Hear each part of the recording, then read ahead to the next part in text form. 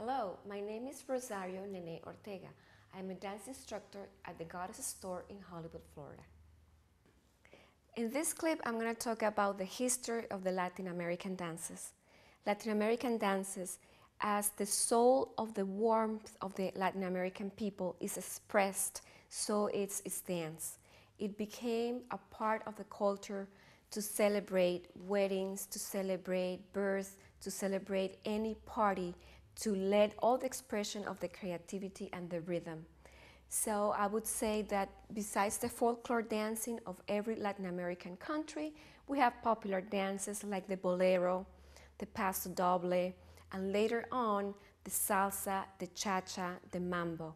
Those are some of the Latin American dances and they, they respond to a desire to express creativity, to express fun and rhythm. For you, Rosario Nene Ortega in Hollywood, Florida.